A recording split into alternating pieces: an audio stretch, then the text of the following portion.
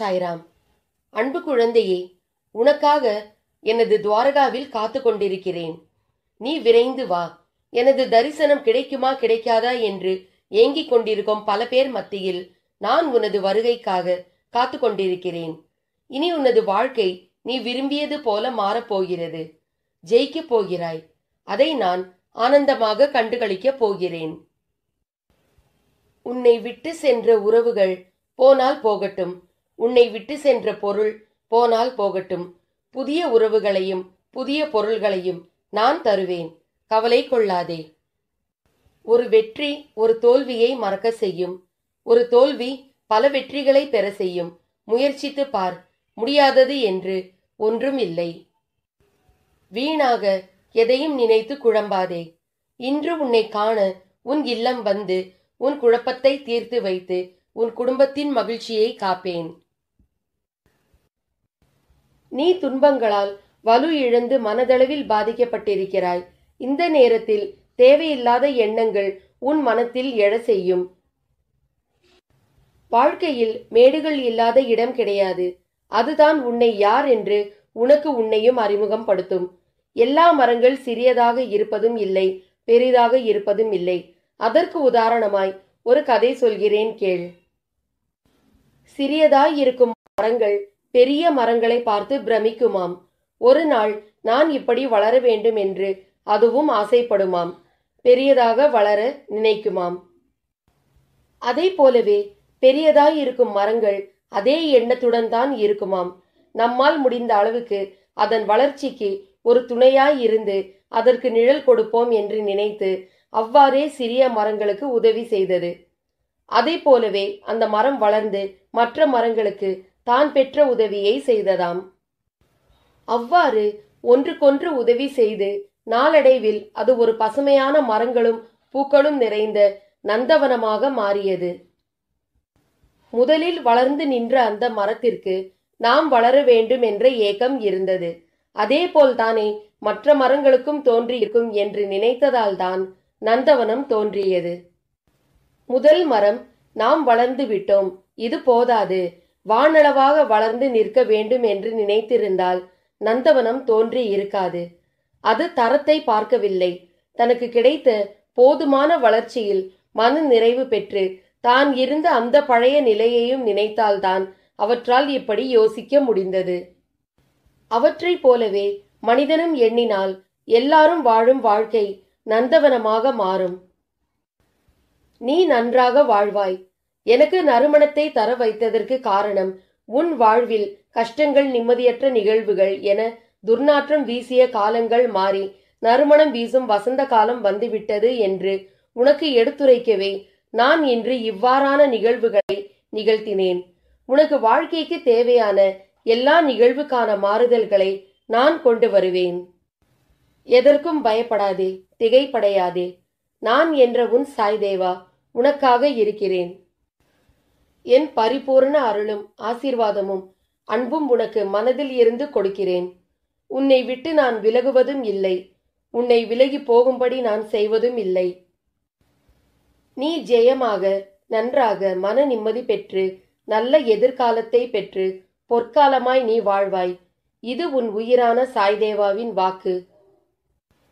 என் வாக்கை என் பிள்ளைக்கான வாக்கை காப்பாற்ற உன் சாய்தேவா என்ன வேண்டுமானாலும் செய்வேன். நீ என்னை அறியும் முன்பாகவே உன்னை அறிந்திருந்தேன். உன்னை பற்றிய விவரங்கள் அனைத்தும் எனக்கு தெரியும். நான் பூர்வத்திற்கும் முந்தியவன். மனதை தேற்றிக்கொள். கர்மத்தின் தீவிரம் உன்னை பாடாய்படுத்துகிறது இனி அது நடக்காது. நடக்க விட மாட்டேன். உனது துன்பம் ஒரு முடிவுக்கு வந்துவிட்டது. நெடுங்காலம் பாழாய் கிடந்தவைகளை கட்டி பூர்வ காலம் முதல் நிர்மூலமான அனைத்தையும் மீண்டும் எடுத்து தந்து தலைமுறை தலைமுறையாக பாழாகி போனவைகளை மீண்டும் புதுப்பிப்பேன். இனி உனக்கு நிரந்தரமான வெளிச்சமாக இருப்பேன். நீ சந்தோஷமாக இரு. துக்கத்தை விடு. எத்தனை வந்தாலும் ஒரு நாள் முடியப் போகிறது என்ற உண்மையை உணர்ந்து கொள். நடந்தது நடப்பது நடக்கப் போவது ஆகிய எதுவும் உன் கைகளில் இல்லை. உன்னால் நடந்ததும் இல்லை. எதற்குமே பொறுப்பாளியாக இல்லாமல் வெறும் சாட்சியாக உள்ள நீ ஏன் குழம்பிக் கொண்டிருக்கிறாய்? எங்கு தீர்வு கிடைக்கும் என்று தீர்வுகளை தேடிக்கொண்டு ஓடுவதேன்? உனக்குள்ளேயே என்னை வைத்துக்கொண்டு என்னை தேடி ஊர் ஊராக ஓடுவதும் என் பெயரை மறந்து மற்றவற்றை உச்சரிப்பதும் ஏன்? என்னை நினைப்போருக்கு தலைமுறை தலைமுறையாக நான் துணை நிற்பேன். நீ என் பிள்ளை என் தாசன் என்னால் தேர்வு செய்யப்பட்டவன் உன்னை நான் எப்படி கைவிட முடியும்? இதை யோசித்து பார். உன்னிடம்தான் பேசுகிறேன். நம்பிக்கையை தளரவிடாதே நிச்சயம் உனக்கு நன்மை செய்வேன். நான் எல்லாவற்றையும் பார்த்து கொண்டிருக்கிறேன். உன்னை என் பிள்ளை என்று தெரியாமல் உனக்கு எதிராக ஒரு சதி செய்ய திட்டம் தீட்டிக் கொண்டிருக்கிறார்கள். ஆனால் உன்னுடன் இருப்பது நான் என்று தெரியவில்லை. அந்த சதியை வைத்தே அவர்களுக்கு பாடம் கற்பிப்பேன். என் பிள்ளைகளை காப்பதே என்னுடைய வேலை.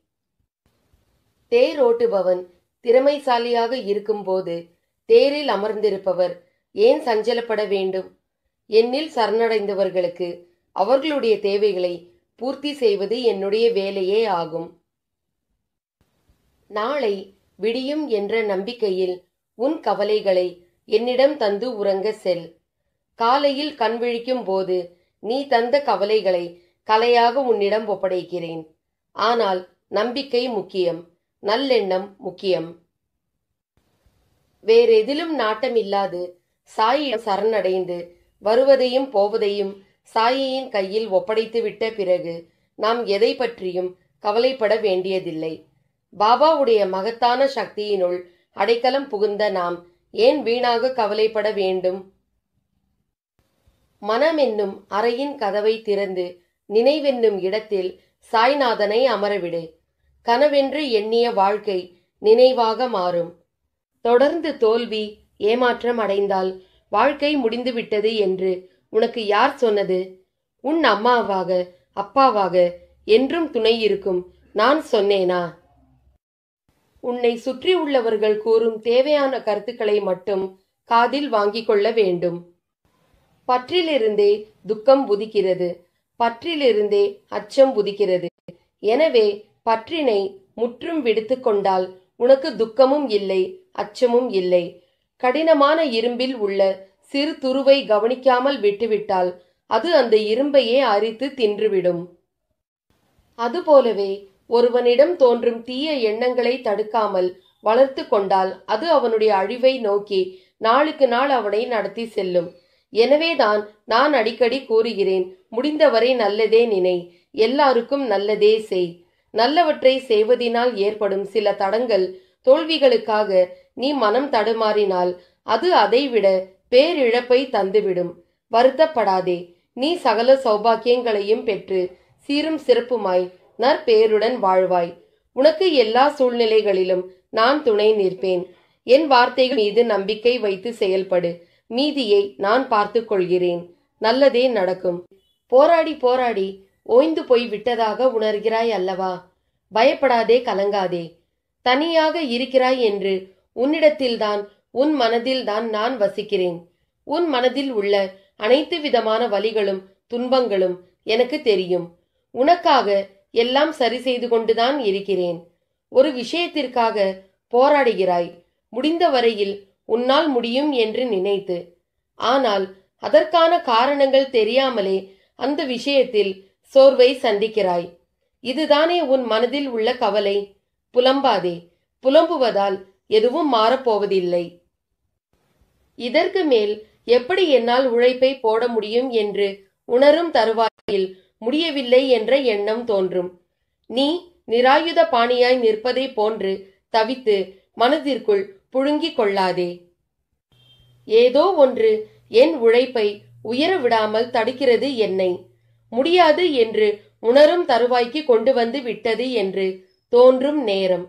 உன்னுடைய எல்லா பொறுப்பையும் என்னிடம் ஒப்படைத்து விடு.